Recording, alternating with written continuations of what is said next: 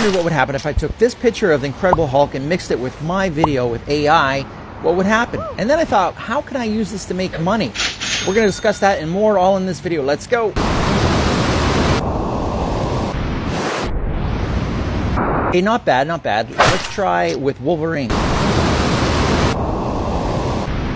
Okay, that's getting better. Let's try Wolverine with a different background. Okay, so I used the software called Runway Generation 1, and Generation 2 is even better. Going to be out any moment now. It basically lets you take text and turn that into video, so you don't need any video input and you don't need any photograph input. There's two ways to make money with this tech. You make a YouTube channel around a certain subject and you create stories. To make a YouTube channel before, you only had you had to rely on video footage or old video footage or now you don't need all that crap. You can make virtually anything you want that you can imagine just from text. And how do you monetize YouTube? It's very simple.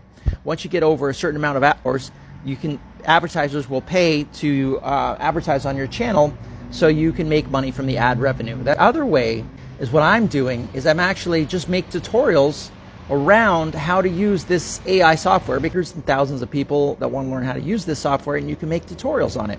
And you can put that up on a YouTube channel, which I'm doing. Under that tutorial, I have a couple links to affiliate links to saying if you want to learn, if you want to try this software, go there. If you want to try this software, go there. Then right at the end of the video, say, hey, if you want to give this software a try, just go get a free trial or go try it out right here. There's a link in my video, and you get a commission when they sign up for the software. And there's so much amazing software to give tutor- tutorials, AI tutorials on now.